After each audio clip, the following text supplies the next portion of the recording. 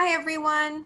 Welcome to the second edition of our virtual programming. Today we are here with COVID-19 Ask the Experts, or as I like to call it, COVID-19 You Ask and We Answer. My name is Kelly McCoy. I'm the Events and Outreach Manager at the Foundation.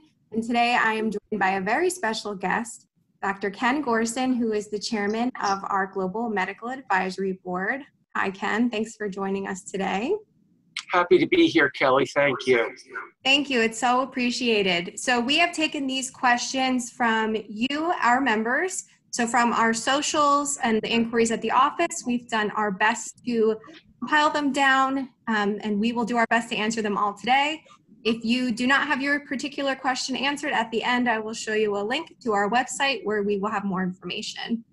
All right, so let's get started. So this is our most popular question by far.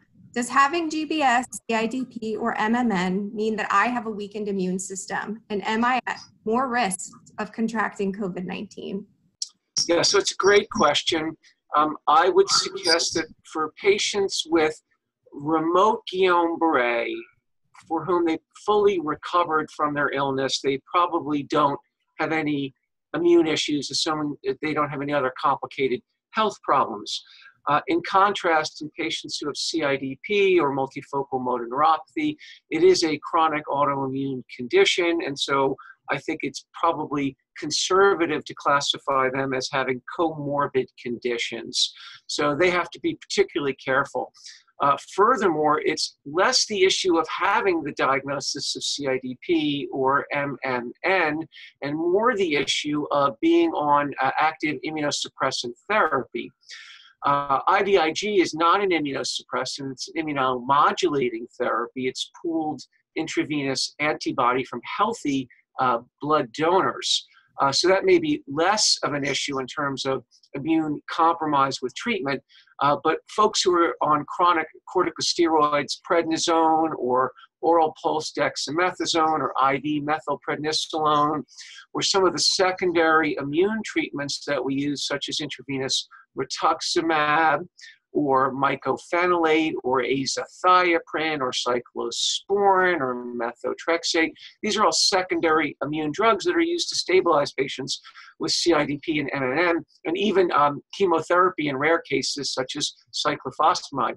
Those folks most definitely have a compromised immune system and should be particularly wary about a COVID exposure. Great. So the, the short answer is inherently no, but in some cases, yes. Depending on their immune therapies.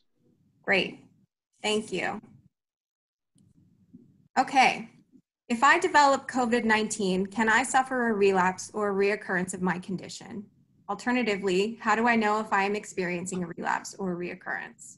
So, uh, in theory, the answer is yes. I mean, COVID 19 is like any other virus that are circulating in the environment. So, just as patients who may contract influenza uh, or any other cold or upper respiratory illness or gastrointestinal illness, uh, those infections can serve as triggers to a relapse. Uh, often that would be considered a pseudo relapse in the sense that it's not sort of occurring spontaneously or around uh, uh, withdrawal of immune treatment, such that typically patients can improve spontaneously once the infection is cleared. Uh, we don't really have a clear understanding because it really hasn't been studied well. We're so early into this that we just don't know uh, you know what the relapse issue is going to be around COVID-19. But I think in theory, uh, it's certainly plausible. Um, uh, regarding uh, experiencing a relapse or reoccurrence, it's just like in the absence of COVID 19. Uh, patients should have recurrence of the symptoms that they first had in terms of progressive weakness or balance difficulties or increasing numbness or tingling, uh, uh, in um, discoordination, impairment in fine motor skills, the sorts of symptoms that they had initially that led them to the diagnosis of CIDP or MMN in the first place uh, should be a clue. If those symptoms start to worsen again, they should contact their treating neurologist. Great. And in terms of uh, Guillain-Barré relapse, that's incredibly rare, right? That is correct. That's extraordinarily rare. It can happen, probably well below 5% of patients can have a remote relapse, what's called recurrent Guillain Barre syndrome. There's probably something unique about those patients who have a recurrent episode of Guillain Barre. Uh, you know, months or many years, even decades later. So that is not the norm. For the overwhelming majority of patients, for Guillain-Barré, it is a monophasic illness. It's a one-time disease. Great, thank you. Okay, this is a hot topic and a controversial one. We'll, we'll do this in two parts. So firstly, does having GBS or CIDP mean I should never get any vaccinations? Yeah, so the answer is definitely no to that question. The one situation that we keep in mind is in patients who have had influenza vaccine associated Guillain-Barré. And what I mean by that is if you got a flu vaccine and developed Guillain-Barré syndrome within six weeks of that vaccination, the recommendation is that you don't receive the flu vaccine moving forward. For everybody else, there is no contraindication to getting influenza vaccinations, and for that matter, any other vaccine if it's indicated. So, in fact, the argument could be made that in healthy individuals, if you get a flu vaccine, you should reduce your risk of flu infection. And we know flu is a preceding virus that triggers Guillain Barre. So, in the general population, it is recommended that everybody get a flu vaccination unless there is a specific contraindication. With all other vaccines, there's very limited data. But the argument would be if you haven't had a tetanus shot within 10 years, it's recommended. Or if you step on a nail, you should probably get a tetanus vaccine in that situation to avoid the risk of getting tetanus. And the same is true for preventative vaccinations in individuals who travel and need vaccinations uh, to prevent contracting illnesses abroad, and particularly in unusual places. And uh, there's no reason not to get those vaccinations. So a question that um, you likely can't really answer, uh, should I consider a COVID-19 vaccine when it is available? Yeah, so uh, given uh, the current chaos that we're living in now, it's uh, recognized that a vaccine is the ultimate approach to managing uh, COVID-19 and reducing the risk of infection and serious illness uh, moving forward. We're not going to have a COVID vaccine available for at least a year to 18 months, perhaps even longer. So the caveat is, is before the COVID 19 vaccine is developed and available for the general population, it will be uh, put through rigorous testing to make sure that one, it works, and two, there are no associated complications or significant safety concerns with the vaccine. So I think this is something that we can worry about in the future, but theoretically, uh, everybody who has an opportunity to get the COVID uh, 19 vaccine when it becomes eventually available should strongly consider it. Great. Okay. Should I skip my IVIG therapy to mitigate my exposure to COVID 19? And alternatively, what are best practices to protect myself during my infusion? So, the general recommendation, not just for neurological diseases, but all diseases in general, is that you should not skip your treatments, certainly without discussing it with your uh, uh, treating primary care or neurologist. Uh, there is no reason to skip IVIG.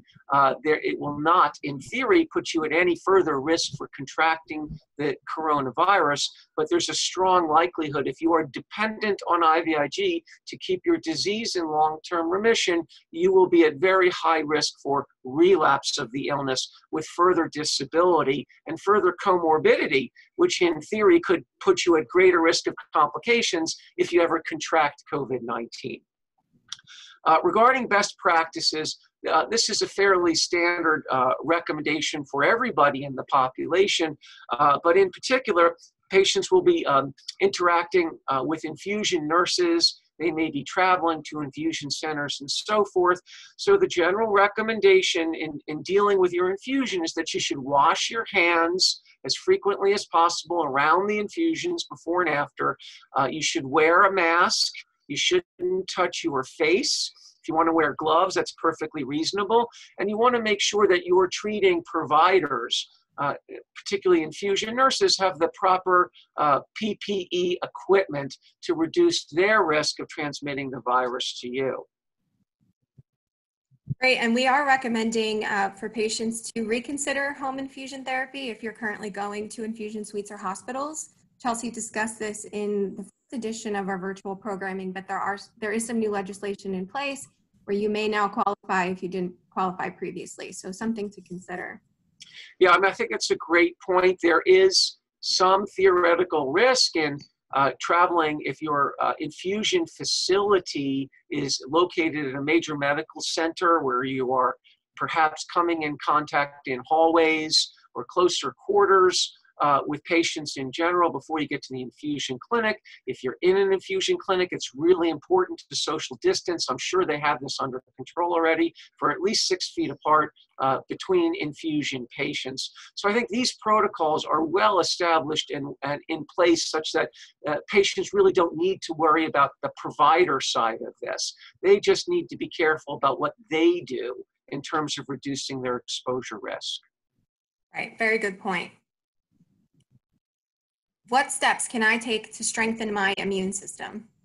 Yeah, so there, there's no magic pill out there that will strengthen your immune system. A lot of this is sort of conventional wisdom based upon a lot of prior data in the general population that uh, patients should do. Uh, you know, a, a, variety of things that that's within their control. So regular exercise, to the extent patients can do regular exercise, allowing for their level of impairment and disability, has been clearly shown to boost your immune system. So, some form of regular daily exercise, whether it's walking, cycling, whatever it is that the patients can do, would be good. Uh, adequate restorative sleep is really important. Sleep deprivation has been shown to have uh, deleterious effects on the immune system. So, whatever sort of amount and quality of sleep you need, you want to make sure you get that. You want to have a good, nutritious diet.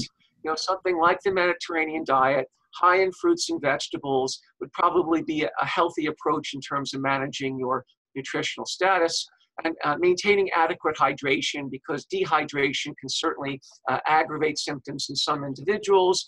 And that, of course, allows for the fact that patients don't have a contraindication to fluid intake, like congestive heart failure or kidney issues or liver issues or things like that.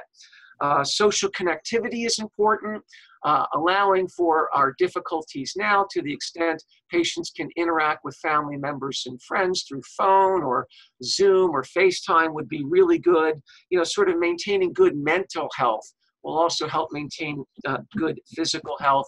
Uh, and not smoking is also really important. There's some data that suggests if you're vitamin D deficient, vitamin D supplements would be appropriate to normalize your vitamin D level. Uh, those are some of the general recommendations to maintain a good, healthy immune system. Great. So none of our bad quarantine habits are allowed, other than the sleeping part. I think I put that down, Pat. Fair enough. so uh, as we know right now, there is a very high need for blood and plasma products. So a question that we've received is, can I donate blood or plasma if I have had GBS or have CIDP?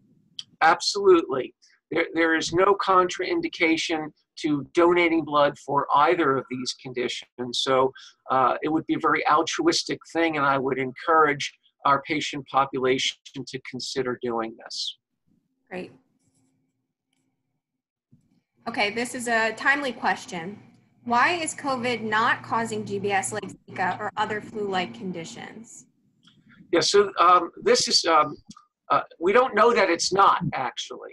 So uh, there have been now six reported cases in the literature, uh, one from China and five cases of GBS from Northern Italy that have been linked to infection with COVID we, we have to be really cautious about interpreting this information because, of course, Guillain-Barré occurs in the general population even without any preceding infections. So there's a baseline background uh, prevalence of Guillain-Barré syndrome. We don't know that these are not just coincidental relationships. Uh, this will be further clarified as more, there, as more reports come out. Uh, the, the study from uh, northern Italy suggested five cases out of about 1,000 to 1,200 COVID infected patients in their cohort. And that would suggest a much higher background prevalence of Guillain-Barré. But again, there's no case controls here to compare. So it could be that COVID-19 is, uh, is or, or the coronavirus SARS-2 is just another virus like the other viruses that we recognize as triggers for GBS. We don't know that it has a greater risk of developing a GBS like Zika does, where Zika is clearly a neurotropic virus, and there was a huge increase in the um, in the risk of GBS in Zika infected patients. So the signal was really large, really early. We're not seeing that right now, but we are so early into this, and I'm fairly certain there are going to be more reports of GBS and, and COVID 19. The issue is before we can draw any conclusions, we really need good case control studies. We have a, an enormous cohort of COVID patients who have GBS, and then a, a cohort uh, of COVID negative cases, and we compare them and see what the uh, prevalence or incidence of GBS would be in these two populations to demonstrate that, in fact, there is an excess number of cases in COVID 19 infected patients. So the story is not yet out on this. Okay. Good to know. We've, um, we've seen a lot of swirling of those news articles, so I'm, I'm thankful for you for uh, breaking that down for us. Okay. I've heard that plasma is being used to treat COVID 19 patients. Should I worry about a plasma shortage for IVIG? And what is convalescent plasma? Yeah, um, so let's take uh, convalescent plasma first, so that because it dovetails into the next, the first question. Uh, with convalescent plasma, what happens is a patient has an infection, viral or bacterial, and their immune system is triggered to neutralize or kill the virus or bacteria. And the way that is done was with generating antibodies that are directed against the, um, the offending infection. So these antibodies are then circulating thereafter. And so in the patient who recovers from the viral bacterial infection, if you draw their plasma after they recover, they will have these circulating bodies or circulating antibodies directed against the infection. That's what convalescent plasma is. So in the current situation, what's going on is that in patients who've had COVID 19 infection and recovered, they will have circulating antibodies against COVID 19. And the idea, uh, theoretically, is that if you use their plasma, they donate their plasma, and then you can infuse that into uh, seriously ill patients with COVID 19, you may be able to hasten uh, those patients' recovery. Uh, I have no concerns about a shortage of plasma related to this particular technique because really it's very small in terms of the numbers going on now. Uh, the plasma that's being donated are from specific individuals who've had COVID 19 infection, not used from the general population. And really, this is all done in the setting of experimental trials and protocols at uh, in major academic medical centers where they're using the convalescent plasma from recovered COVID-19 patients in a controlled situation. So the numbers are really small, and I would encourage folks not to worry about this particular issue right now. Great. So two different pools. There's the source plasma that goes into IVIG, and then there's this plasma that's being used to treat patients. So no need to worry. Correct. Great. Okay, well, that's it, Ken. Thank you so very much for taking the time. I know our members are going to greatly appreciate this. And thank you to everyone for tuning in. Uh, we have a very robust and dynamic website right now just dedicated to COVID housed on our website. If you just go to our website, gbs-cidp.org, you can scroll down a little bit to our newsroom where you'll see all of the COVID-19 tagged articles. We're keeping that updated right now. There's about four pages worth, and you'll be able to revisit this video later. So thank you all, and thank you, Ken. My pleasure. Glad to be helpful. Thank